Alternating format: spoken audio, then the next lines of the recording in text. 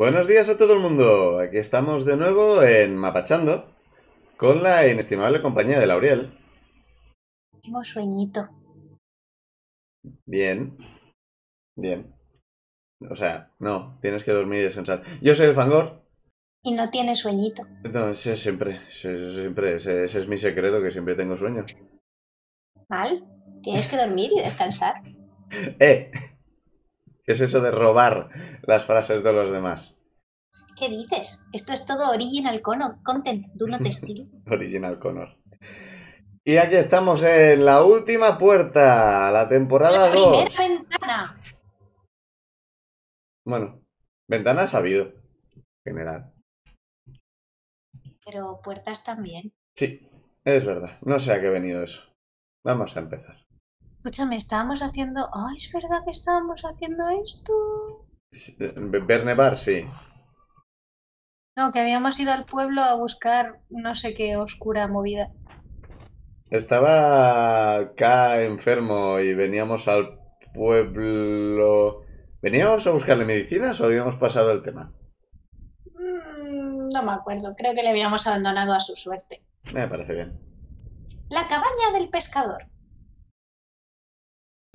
Ah, pues vamos a entrar a la cabaña del pescador. Molto bene. No puedes cruzar los mares alrededor de la soleada isla de la vida. La muerte canta noche y día su canción sin fin. Buenos días. Déjeme beber tranquilo. ¿Es usted capitán de barco? ¿Y usted qué sabe? ¿Acaso parezco uno? Hombre, pues estamos entre eso y cantante de reggaetón. ¿Qué son los tres aros? Eh, ¿Es algún tipo de, tipo de símbolo de capitán? Pues quizá.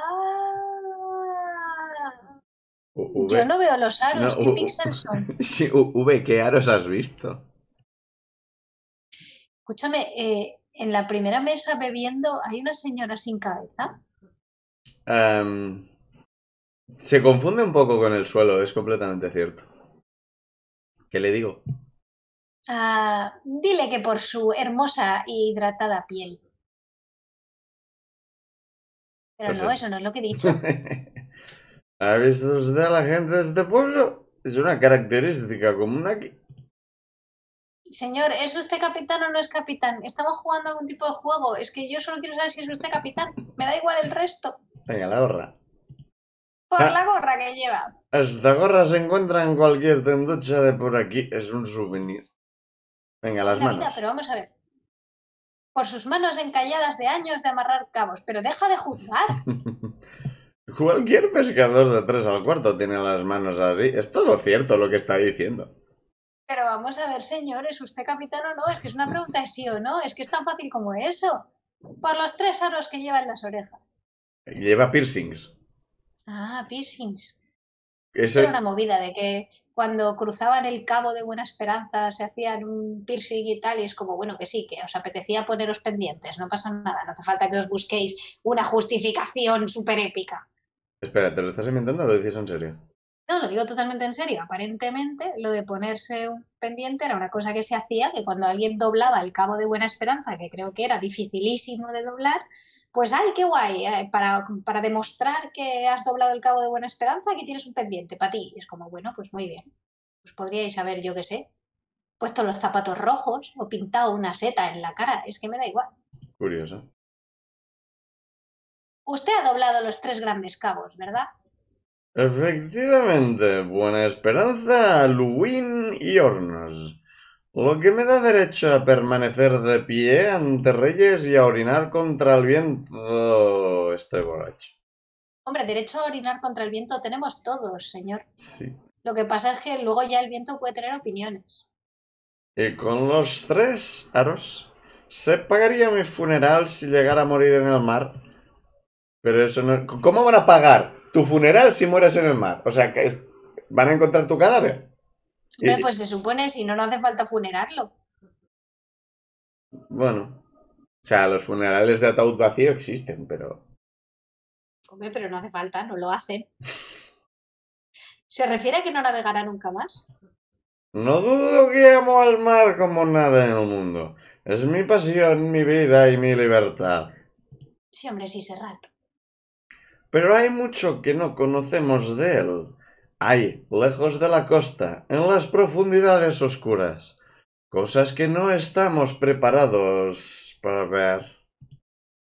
Créame que las hay, esperando en lo profundo. Me gustaría comentar dos cosas, dos cosas. Una cosa es el drop de profundo ahí puesto en plan, jeje, guiño, guiño, jeje, codazo, codazo. Y dos, que desde que le he llamado Serrat le estás poniendo acento catalán. Sí, me estoy empezando a parecer al, al filósofo. Ay, sí, el del pan. Sí, efectivamente. ¿Ha visto usted alguna de estas cosas ahora que ya ha admitido que es capitán pesado de los cojones? Lo que me ha respondido es si va a volver a navegar. Eh, No, pero, pero, pe- pero la fe y la, fe. Verá, usted habrá podido oír historias de marineros de aquí y allá, bastardos, que dicen oír cosas en el mar. No son todo más que niñerías, meras supersticiones de cobardes. Cualquier marinero que se precie sabe que con fuertes vientos los cabos tensos vibran y suenan. Hasta yo mismo, una vez los confundí con el llanto de un niño. Pero aquella vez no fue nada de eso. Aquella vez fue, fue el, el mar. Me rugió a mí. Señor, ¿cuánto hay en esa taza que le está dando unos viajes del copón que no para de darle viajes? O da sorbos más grandes, o llama a alguien que se la rellene porque no cuela. No fue el ruido de un trueno, ni de una fuerte ola chocando contra el costado del barco. No. Fue una forma de comunicación. Me gritó en un lenguaje indescriptible, gutural, pero extrañamente articulado. Le habló una morsa. Le Bueno, una morsa. O le hablaron en un idioma que no era primitivo, que no estaba hecho con los unknown del Pokémon. Y yo lo entendí, a pesar de ser indescriptible y inarticulado. Me está llamando fuerte dejarle en paz, pero bueno, Ya, ¿qué pero- fue lo que entendió? Pero el juego, el juego no, no avanza así, ¿no? A ver, ¿qué fue lo que entendió? Entendí que no iba a existir más libertad para mí. Que el mar tenía oro- otros dueños. ¿Qué tiene que ver una cosa con... ¿What? Y que quienes quiera que fuesen no estaban dispuestos a compartirlo con nosotros. Vale, ¿y qué pasó luego? ¿Y en serio qué tiene en esa taza? ¿Y desde cuándo ha sido usted dueño del mar? El mar no tiene dueño. ¡Ajá! Hemos encontrado un agujero en su declaración. ¿Qué pasó luego? ¿Qué pasó luego? A ver. De vuelta. Una fuerte tormenta descontroló el rumbo de mi barco y las rocas del acantilado hicieron el resto del trabajo. Está bien porque era una tormenta, pero eso demuestra que no podía ser un trueno, claramente. ¡Qué triqui! Desconozco dónde habrán podido acabar los restos de mi Agustín porque yo me teleporté a la costa. Con el paso de los años y las tormentas. Nunca he vuelto a las rocas para buscarlos o siquiera a pisar otro barco. ¿Por qué? Bueno, pues el señor tuvo estrés postraumático y en lugar de gestionarlo dijo, pues a la mierda el mar. Y a la mierda el mar para siempre. Y ahora déjeme en paz. Que sigo amando al mar, pero la mierda. Pues, pues nada, le dejo en paz. Mira, me lo ha. Ahora déjeme en paz. Le dejo en paz. Mi whisky y yo le mandamos a la mierda. Con tanta charla nos faltaba intimidad. Escúchame, pero estás bebiendo whisky en una jarra de cerveza, desgraciado. El mar también elige puertos donde morir, pero ¿qué cojones? Antiguo cartel de alguna clase de deporte tradicional. Pues Escupir huesos de cereza. pues venga. Viejas fotografías de grupos de gente del pueblo. Y un timón. El timón tomado del puente de un barco, quizá un recuerdo de la época en que el dueño navegaba como timonel. Aquí hemos deducido que el dueño era timonel. Sí. Sí, por las buenas. Esta señora viste de una manera elegante para haber venido a beber a un sitio como este. Pero, La señora que tiene un vaso de chupito en la mano. pero ¿qué les pasa con el juzgar a los protagonistas de estos juegos? Bueno, es que lo llevan en la sangre. ¿No quieres hablar con ella? No, no, no, solo quiero juzgarla. Dos pescadores discutiendo. Bien. Buenos días. ¿Va a tomar algo? Eh, Voy a tomar a un hombre llamado Oscar. sé, que, sé que es. No, no, sé que es una petición específica, pero entiéndame. He dejado al chico que me gusta en la cama en la mansión. Voy como el palo de un churrero. Hágame caso, señora. Tráigame un señor llamado Oscar ya o aquí va a haber una desgracia. Al... Acá lo dejamos en la posada, no en la mansión. pero- No, hombre, lo dejamos en la mansión, ¿no? No, nos fuimos de la mansión. Nos fuimos a dormir al pueblo. En principio. No sabía. ¿Qué le pasa al hombre de la esquina que está venga, que no para ahí, rácata, rácata, que parece yo? Ah, yo creía que estaba cantando. Yo estaba cantando. Fred, no le echa mucha cuenta. Pasa las horas aquí borracho y melancólico. Pues el hombre llamado Oscar. Tráigamelo. Venga, tráeme un señor llamado Oscar. Que sea guapo, ¿eh? Se refiere al padre Oscar. Puede encontrarlo en la iglesia justo frente a mi local. Bastante Honestamente habitual. no esperaba, no esperaba este fetiche, pero, eh, pero vale, venga, va, a por ello. ¿Conoce usted al profesor Bright? El profesor, claro, ese viejo recachón hace demasiados años que no viene por el pueblo. Cuando era pequeña recuerdo verle muy a menudo, era conocido y se llevaba bien con todos. Siempre se involucraba en los asuntos del pueblo. Poco a poco dejó de vérsele hasta que ya no volvió más. Empezó a recibir visitas de forasteros. Dicen que simplemente se empezó a volver loco. Nadie lo sabe seguro. Hostia, pues menuda mierda de Radio Macuto tenéis en este pueblo.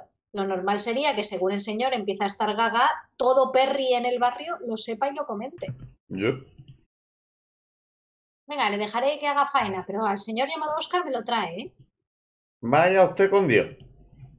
Pues sí, porque nos vamos a ver al padre Oscar, así que con Dios. Me encanta lo de la, la iglesia justo delante del bar. Bueno, es práctico. Sí, después de la misa, pues a por el carajillo. Vamos a espiar.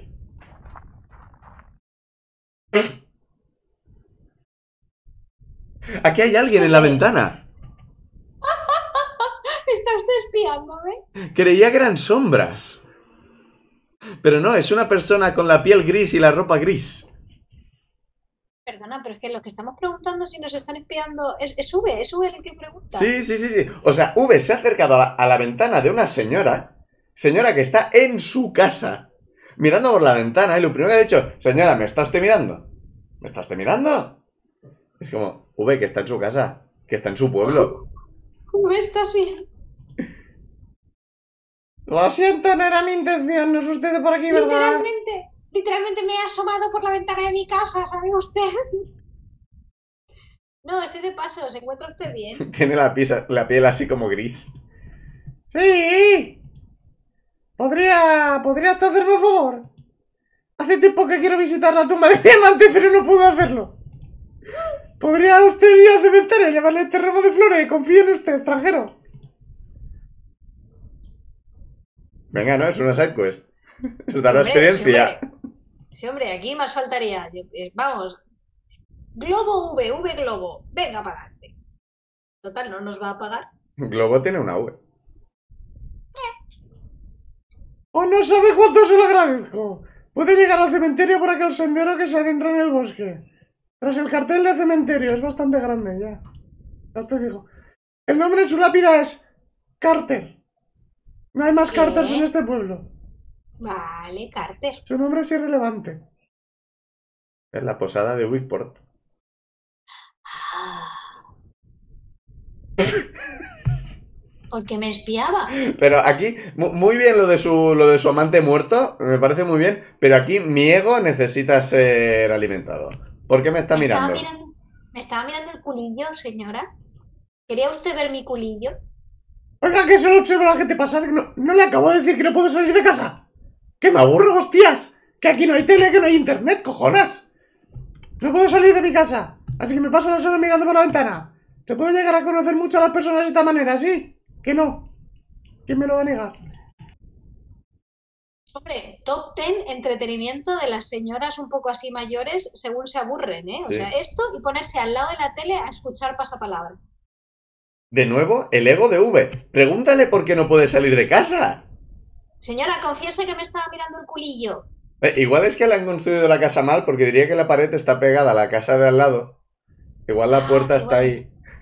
Que igual no tiene puerta, claro. Oiga, que solo le he mirado un rato, joder. Que no soy psíquica. Bueno, puedo decirle que se encuentra en una misión muy importante buscando a alguien a quien aprecia. O a quien yo aprecio. Ha ido ya al cementerio por mi amante. Tiene una preocupación que le pesa. Y se encuentra todavía en mitad de un largo camino. Y va a conocer a un extranjero y, y hacer un largo viaje. Y en el trabajo va, va a ganar dinero. Mucho dinero. Escúchame, eh, acaba de decir que a V le importa mucho muy de cerca J. O sea, básicamente está diciendo que V está eh, encoñadito de J, pues entonces está equivocada, está encoñadito de K, como ya hemos establecido previamente. Mira, oiga, yo no he dicho nombres. Usted entienda la profecía como le da la gana. Fascinante. Pero lo del culillo, ¿qué? Ah, coño. ¿Por qué nos interesa la tabernera? Eh, No lo sé, pero venga, ¿qué me puede decir sobre la tabernera? ¿Va a mirar el culillo a la tabernera? Una mujer con mucho carácter. Una vez la vi echar a patadas a un grupo de borrachos sin dudar. Últimamente está de muy mal humor, pero estoy seguro que por muy mal que le pueda ir el negocio no abandonar al pueblo con muchos otros. Vale, y sobre el capitán, el capitán sí que me miró el culillo, ¿verdad, señora? Confiese. El pobre Fred anda borracho continuamente. Antes, después de navegar, se daba largos paseos por la playa y miraba las estrellas. Se le veía feliz, yo le observaba de lejos. Ahora jamás mira en dirección al mar ni a las estrellas. Ha perdido toda esperanza. ¿Se puede mirar las estrellas en dirección a las montañas?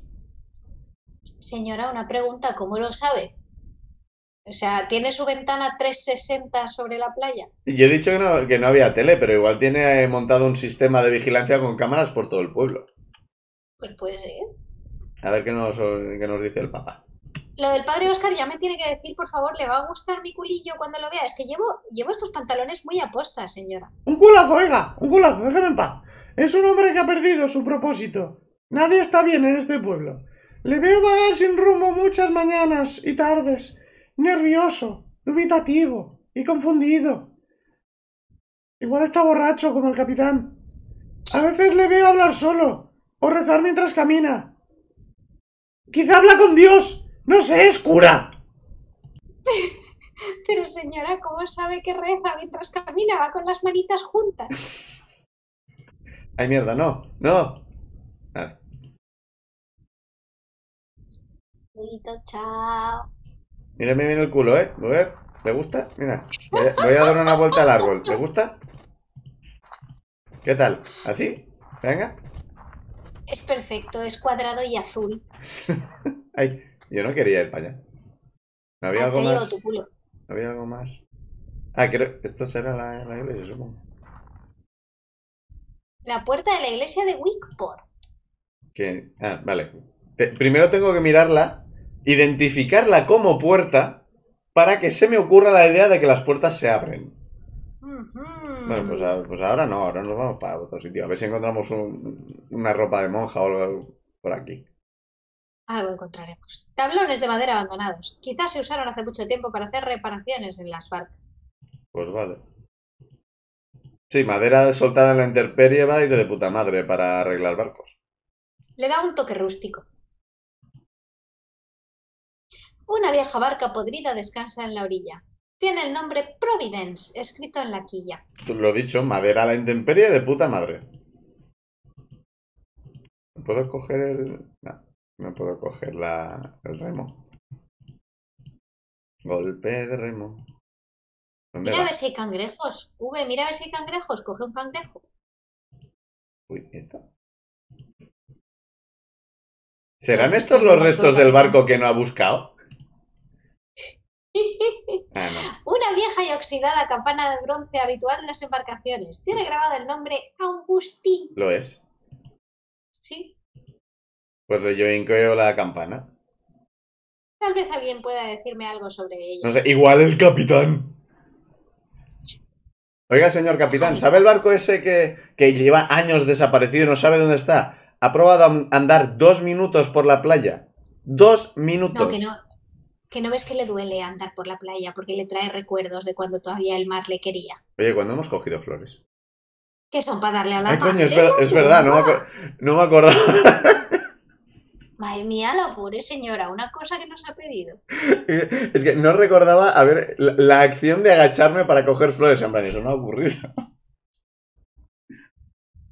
Este barco está completamente destrozado.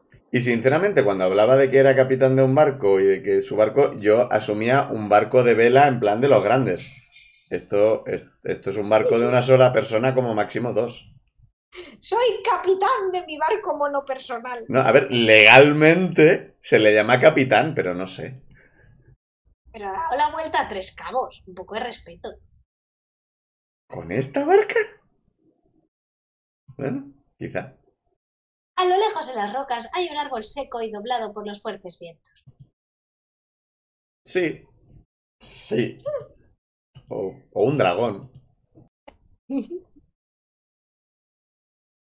En fin, ¿vamos a la iglesia o vamos a que el capitán nos diga algo de la campana? A la iglesia primero, a ver si el padre Nos mira el tiene culo. opiniones. Sí, tiene opiniones. Ah, Ah, bueno, pues a Mimi. pues está cerrado. Pues nada, pues nos vamos. Hasta que hemos Pues tú, llegado. Mimi. Oye, igual hay que ir al cementerio a poner las flores, ¿lo has pensado? ¿Voy al cementerio entonces? Mm, vamos a hablar primero con el capitán y luego al cementerio. Joder, qué creepy es la señora ahí, es que está quieta completamente. ¿Y por qué es gris? Oiga, tome, campana en la cara. La campana de... mi- No me acuerdo de su voz. La campana de Megustín. ¿Cómo la he encontrado? Si he andado un minuto cada día. La encontré en las rocas a dos minutos. Pensé jamás la volvería a ver. Le limpiaré el óxido y la haré brillar de nuevo. Es hora de que regrese a las rocas, a ver lo que queda de mi Agustín. Coño, pues sí que ha superado el trauma rápido. Oye, ¿eh? Pues, pues nada, adiós, ¿eh? Traca, traca, traca, adiós. O sea, para, para ir borracho va súper recto. Señora, ¿opina algo? cierra barco. No. ¿Tabernera opina algo? Ah, pues sí. Venga, ¿sabe cuándo se abre la iglesia? Me pregunto si sabe cuándo abre la iglesia. Es que he llamado a la puerta pero no contesta. La iglesia me lo pregunta. No me, no, eh, pues, me lo pregunta a mí. Déjeme decirle una cosa. Esta barra de aquí es mi iglesia. Y casi todo el pueblo ha acabado pensando igual que yo. En los tiempos que corren rezamos todos aquí. What the flying what? ¿Todo el pueblo ha dejado de ir a la iglesia? Eso no es nada sospechoso. Este pueblo está perdido. Ya no hay trabajo en la costa, ¿sabe? Casi nadie puede mantenerse. La mayoría de los marineros y pescadores se han marchado. La mitad de las casas están vacías. Los que se han quedado apenas salen de su casa. Salvo para venir aquí, claro. Pero no puede ser solo eso. Muchos de los pueblos de la costa tienen esas dificultades, pero no hay ningún otro pueblo ever jamás en la costa que haya sido abandonado. No, no, no, no, no, no existe. Históricamente los pueblos no se abandonan. No. Bueno, para mí son estúpidas supersticiones. Algunos pescadores comentan que han visto cosas en el mar, formas extrañas entre las rocas. Pero qué tontería. A saber lo borrachos que iban mientras faenaban esos desgraciados. Además, no sé cómo pueden decir que han visto nada en la niebla tan densa que hay siempre por estas costas. Imaginaciones de borrachos y supersticiones de otros tiempos. Muchos se han marchado a otros pueblos cercanos y no han vuelto por aquí más. Porque claramente te vas al pueblo que está a 200 metros y estás a salvo de la gente del mar. Sí, sí, sí, la gente del mar no, no se mueve por el mar. ¿Qué dices? Hábleme del capitán, ¿eh? Dígame algo del capitán. Fred, sí, es un habitual. Se pasa aquí las noches triste y melancólico. Pero no ha cambiado, porque era blanco si no ha cambiado la frase. Porque creo que ahora preguntábamos específicamente por el nombre y antes decíamos, hábleme de usted Ah. del señor maloliente que hay en la esquina.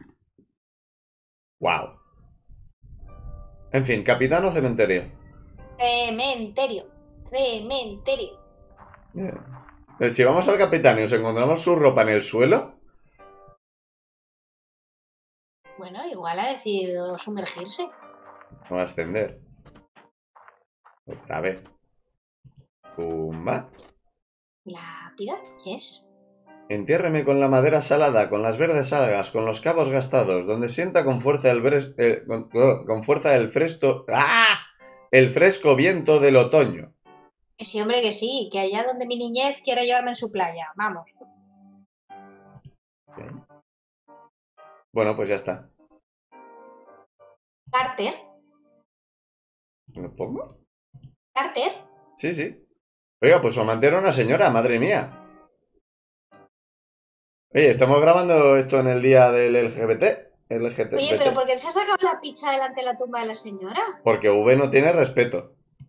Pero, pero, güey, por Dios, que son señoras, que no les interesa tu picha, quita. Campanas, parece que el párroco llama a misa. Oye, como trigger para que el párroco llame a misa, dejar flores en, eh, en una tumba. Mira, bold of you, asumir que el párroco no ha llamado a misa porque nos hemos sacado la picha.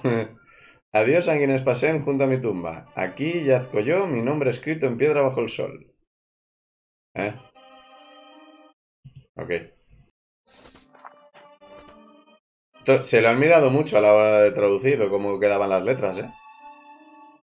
No me traigáis de comer a este lugar, solo ron quiero, ahora descanso bajo las mismas estrellas donde navegué libre cuando vivía. Claro, hombre, van a tirar ron a tu tumba. Porque está barato. ¡Uop!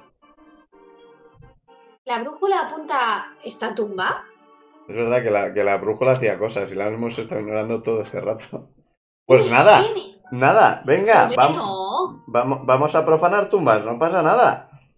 Pero hombre, es que me parece feísimo que excaves una tumba y me parece aún más feo que la hayas excavado con el pene. Hay algo aquí enterrado. Qué hostias, eso es media estatua. Es media, media estatuilla, sí. Una piedra tallada. Parece un fragmento de una estatuilla más grande. Aquí, aquí estaban empezando a coger el estilo, el estilo para blasfemos, creo yo, ¿eh? Bueno, pues nada, supongo que tarde o temprano encontraremos una piedra más grande. En Oye, esta tumba no hay féretro. oye, hemos intercambiado la estatua por la brújula. Sí, Está, está bien tener una confirmación clara de que esa brújula solo servía para esto. so- ¿Dónde cojones estamos? la- el Wow. árbol. Hostia, pero qué vuelta hemos dado. Uy, uy, uy, como ese señor sea un poeta, vigila que tenemos un track record de poetas espeñándose por acantilados según hablamos con ellos. Un viejo retorcido árbol se aferra al acantilado con las pocas raíces que le quedan, resistiéndose al batir del viento y algún día desistirá y caerá abajo al océano. Esto huele a poeta, esto huele a poeta. Pero no caerá bajo el océano, caerá aquí. El viento la está llevando hacia, hacia tierra, no hacia el mar. Física. V, física. No sé, yo estoy poco convencida. Un grupo de afiladas olas sobresale, rocas sobresale entre las olas. Esta debe ser una cosa traicionera para navegar. Está todo el mar. Limpio, prístino, separado, maravilloso. Tienen cuatro rocas y en vez de hacer un faro han puesto un señor para que grite desde lo alto ¡Epa! Pues no. Pues el capitán ya nos ha confirmado que no funciona. Tiene que gritar más alto. Buenos días, me llamo Doctor Campospierto. A ver. No viene usted del pueblo, ¿verdad? No hace falta que conteste. Se lo noto en el acento. Ándese con mucho cuidado por estos acantilados. Estas no son tierras para turistas. Ya casi no son tierras para nadie. Lo mejor será que vuelva por donde ha venido. Pasan cosas raras por aquí. ¿Es usted el cura? El cura está tocando campanas. Es verdad, ¿a qué se refiere? Algunos marineros y también pescadores, cosas muy distintas, juran que navegando los días de tormenta oyen voces en el oleaje, gritos inhumanos. Hombre, pues distintas son, no es lo mismo ser marinero que ser pescador. Ah, ya, lo- a, a lo que me refería es que es gente que va a lunar, no sé, es como... Bueno. No, pero quiero decir, yo, yo- yo no soy yo la que sabe de barcos. ¿eh? Y hay quien dice haber presenciado cosas impías durante sus faenas en la oscuridad de la noche. A ver, que si hay dos marineros que se sienten solos, llevan mucho tiempo eh, en mar sin ver tierra y quieren, bueno, pues no sé, oye, joder, aquí juzgando. Yo iba a sugerir que lo que habían visto era un culillo alzándose sobre las olas, pero me gusta tu teoría. Yo mismo vi una de esas cosas arrastrándose entre las rocas ahí abajo. Tengo muy buena vista. Oye, está feo llamar así a la gente, ¿eh? Mm.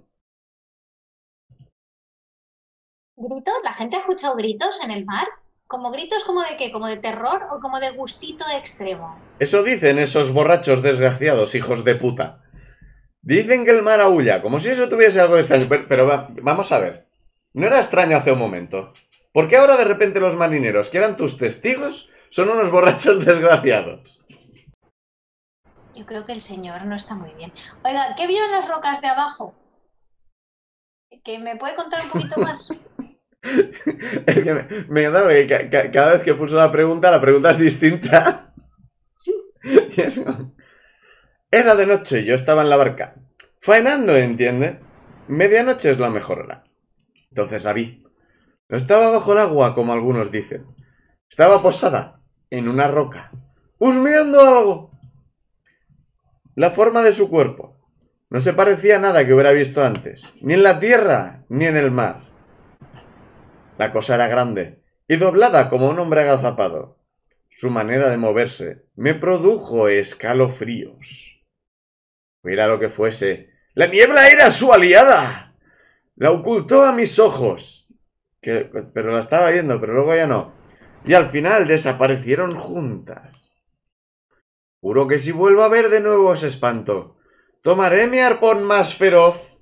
Los arpones son feroces, sí y se lo clavaré con tal fuerza en su horrible cuerpo que tendrán que enterrarlos juntos. Y así he decidido cometer un asesinato. Y quien lo saque será rey de Inglaterra. ¿Qué hace aquí en el acantilado? Aparte de gritarle a los barcos que se vayan con cuidado. Me quedo aquí muchas noches mirando a la orilla. Es de día. Por si acaso esa cosa vuelve a aparecer. Allí abajo habría demasiada niebla para poder verla con claridad. Desde aquí se vería mejor, incluso con mi ya cansada vista. Oiga, ¿su vista estaba ya cansada cuando vio al bicho? Y borracha. ¡Por todos los diablos! Si pudiese recuperar los ojos de elfo que tenía cuando era joven, empalaría a esa abominación, téngalo por seguro. También necesito el brazo de cuando era joven. Bueno, a ver, cada cual con sus kinks. Bueno, pues, pues nada, pues. Pues, pues ven. ¿Qui- ¿Quiere una ¿Me ibas a estatua? robar el bastón? Toma una. est- Yo sí. ¿Pero por qué? Pobre señor. ¿Por qué no? Marvel, ¿quieres una estatua? No. Pues me voy. Pues me voy a la iglesia. Me voy para siempre, adiós. Ta, tara, ta, ta, ta, ta, Mi nombre es V. ta, tara, ta, ta, tara, He abierto una tumba. Tu, turu, tu, tu, turu, tu. Es un jueves normal para mí.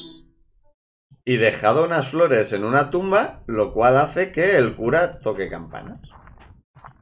Señora, ya he dejado las flores. Deme, deme mi- mis jepes. He dejado las flores en la tumba de su amiga. ¿Sabe? Su amiga cercana, su amiga muy amiga. Esa amiga, pues ahí las he dejado. Yo le estaré agradecida para siempre. Pues nada, pues, pues, pues ya está. Pues venga. Bueno, pues hasta luego, beso. Yo espero que en el, en el combate final aparezca esta señora entre los amigos que vienen a ayudarme y tal, ¿no? Es- Vale, esto. Si he completado su, su side quest será por algo. Elige. Una ventana rota, tapada con planchas de madera. Los ejes son para débiles. Me voy a confesar. Pues no. Un confesionario. De manera que Wickport es una parroquia católica. Menos mal, tenía un poco pinta de templo budista. Buenos días, señor. Disculpe que le ignore. Ah, pues no. Ah, sí. Un humilde altar de nada, nada mármol. Mármol solo. Sí, sí, súper humilde. Nada, no, no me gustan los escalones. El estado de abandono de esta cruz refleja fielmente la fe de los habitantes de Wickport. Mm, Bueno. Yo creo que limpiar la cruz es cosa del párroco, pero bueno. Bueno, depende, ¿eh? porque las, las iglesias de pueblo, como no tienen mucho presupuesto, externalizan una cantidad del cuidado de la iglesia y de las movidas de la iglesia a la peña del pueblo que no es ni medio normal. Bueno, sí. Buenos eh, días. eh, eh, el ex homo es una prueba, sí. A ver. ah, No me quedan voces. Pon voz sexy, que este es el potencial novio de. Buenos días, hijo mío. Eso es ok. Voy a- Ok. No, me estoy reservando el comentario, no estoy diciendo nada. ¿No viene nadie a la iglesia? ¿Eh? ¿Dónde están tus fieles, hijo de puta? Que ya nos lo han dicho en el bar. Son tiempos oscuros para este pueblo. Muchos se han ido. Otros habrán perdido la fe.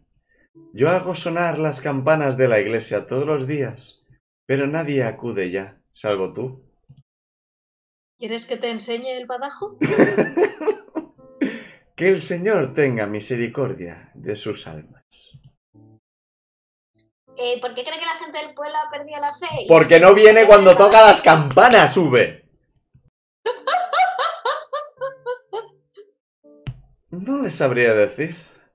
La niebla que envuelve estas costas y las formas que parece adoptar han sido siempre fuente de habladurías. Pero últimamente las historias que se cuentan no son de piratas o contrabandistas, sino de algo más siniestro. Algunos dicen que el mismo diablo vaga por ahí fuera. Es un rumor que no me atrevo a ignorar. ¿Quieres que te enseñe el contrabando? ¿El qué? Al contrabando. ¿Conoce usted personalmente al profesor Bright? Y sí, me gustaría. Voy a ignorar todo lo que me ha dicho hasta ahora y voy a cambiar de tema completamente. No todo, ¿no? Sí, por supuesto. Adam era... quiero decir, sigue siendo no solamente un miembro de la parroquia, sino uno de mis amigos más cercanos. Desde nuestra juventud nos gusta perdernos en largas discusiones académicas y en los ojos el uno del otro. Y bien intensas las conversaciones, ¡uh! intensas. No se crea. Siendo él antropólogo y yo teólogo. Al menos hasta que cayó enfermo. ¿Quieres que te enseñe algo largo? Pero desde que él está así, no le he visitado. Pues nada. Pues, pues adiós. Pues, pues tengo que irme, pero apúntese todo lo que me ha sugerido que me parece bien, ¿eh? Mm. Espere. Necesito pedirle un pequeño favor. Por favor, dele esto a Adam. Yo sé que no recordará apenas nuestra amistad, pero al menos si un recuerdo de ella permaneciese a su lado, eso traería tranquilidad a mi alma. No voy a ir yo. Estoy súper ocupado con todos mis fieles. Míralos. Ahí están. Ocupando mi tiempo. ¿Quieres que te enseñe algo para recordar? Em, ah, Volvemos a la mansión, volvemos a la mansión. una foto. Voy a ver la foto. Foto. Una fotografía de dos hombres jóvenes. Puede que sean el profesor Bright y el padre Oscar. Puede. ¿Pero qué están haciendo en esa foto? Es una buena Vamos pregunta. Tengo curiosidad. Es una buena Mueve el culillo, mueve el culillo según te vas. Eso siempre lo hago. Estaría bien. No, no, no hay alguna forma de, de- de- pasar al, al- al mapa. Eh, Hombre, supongo que no, porque si no te podrías teleportar. Ah, no hemos ido a la playa a ver si el señor este. Voy a la playa. Ah, sí, hombre, vamos a la playa y ahí dejamos el capítulo aquí en... después de ver la playa. Vamos a la playa, calienta el sol.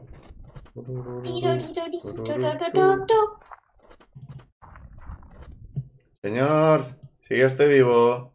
Tenemos un mal track record con enviar gente a la playa. Le, le tira un piedro desde arriba el otro pavo. Le ha tirado el arpón. Ay, mírale. Ostras, pero que, que hasta tiene, tiene colores. Sí, yo creo que se ha puesto un chuasquero o algo. No importan las gritas que tienes en el casco, tu pintura ida, ni tu bronce oxidado. Estás tan bella como siempre, Agustín. Oiga, señor, eso se parece mucho a hacer negging, ¿eh? No le haga Mm. negging al barco. Hoy veremos el atardecer juntos. Buen señor, no me salen las palabras para describir el servicio que me, lea, que me ha prestado, pues sí, a este viejo borracho. Igual que usted, un extraño, me ha reunido con mi tesoro perdido. Espero que este catalejo le ayude en lo que pueda encontrar en su camino. Lléveselo, es un regalo de corazón. Oiga, si estaba usando el catalejo para intentar encontrar el barco, igual por eso no lo encontró. Escucha, le llevamos el catalejo al señor de arriba para que pueda mirar un- los- las cosas desde Hostia. arriba y Pues- enfadarse. Pues no, si. Si tiene sentido. ¿Sabes que vamos a provocar que el tío del arpón mate a alguien, verdad? No, perdona, eso lo provocará el tío del arpón. No, no, sí, sí, pero. O sea, las posibilidades que el pavo del arcón se cargue al capitán son altísimas. Venga, ahí arponazo en toda la cara. Sí, pero encima iba un poco vestido de azul y es un señor anciano, así que se va, se va a agachar y está entre las rocas. A la que haya un poco de niebla, arponazo. Señor, aquí le traigo un ojo elfo de recambio. Venga, para usted. Para sus ansias homicidas. Le tira el bastón.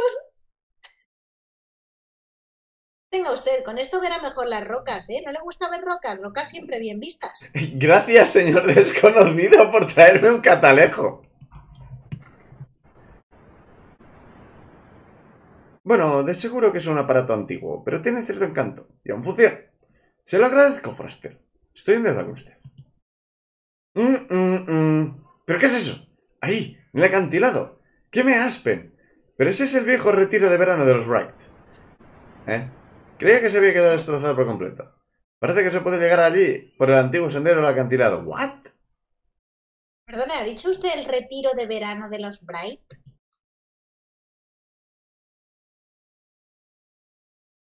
¿Qué hostias? Pues claro, yo nunca lo conocí. Era demasiado joven en aquella época. Pero todo el mundo en la región conoce la historia. Fue una tragedia terrible, ¿sabe usted? Una noche hubo un desprendimiento bajo la casa. Hombre, es que si la construyes al filo del acantilado ahí a ras. Sa- La mayor parte del edificio se cayó directo al mar, dejando solo aquellas ruinas. Muchos murieron, aunque por un milagro el señorito Bright se salvó. Sí, ya, milagro seguro. Puede verla desde aquí. Mire el otro lado de la playa, en el acantilado, ¿la ve? Señor, ¿cómo de, cómo de, cómo de topencio está usted para que haya una casa entera y usted no la ve? Mirando desde la cantina. Una casa, señor. Las casas no se mueven. Es un trozo de casa, pero... Bueno, no cejaré en mi empeño de dar caza a esa cosa mientras este cuerpo resista. Si, bien, si ve a alguien al lado de las ruinas de un barco, es un capitán. No, no- no se lo No, cargue. No, no le cortes, no le cortes. Está mayor. Sea usted libre de matar a quien quiera. Bueno, pues ahora mismo tenemos un montón de direcciones. Dos, para ser concreto. Son muchas más de las que tenemos normalmente. El doble.